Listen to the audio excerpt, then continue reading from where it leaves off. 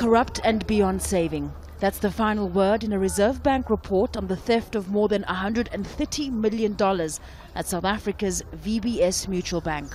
The only black owned bank in Limpopo province, it was supposed to have been a vehicle for empowerment. But instead, it was looted bare, allegedly by more than 50 people, from bank executives to politicians, some from within the ruling African National Congress. Nora Ralapaswa is one of 94 employees who's been laid off because the bank has no more money.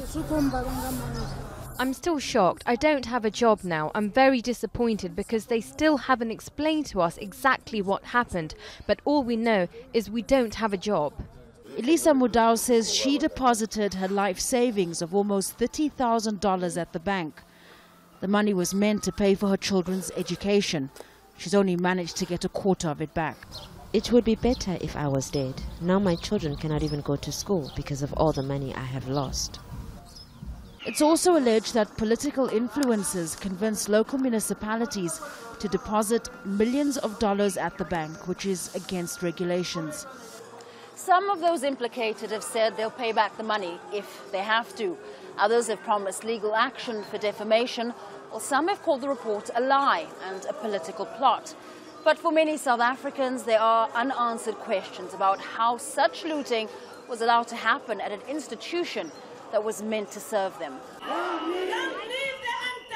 The bank is accused of granting an irregular loan of more than half a million dollars to former President Jacob Zuma and transferring more than a million dollars to the brother of this man, Floyd Shivambu, the deputy president of the opposition party, the Economic Freedom my, Fighters. My the party and both men have denied any involvement. The idea of bribery corruption has become part of the South African cultural DNA.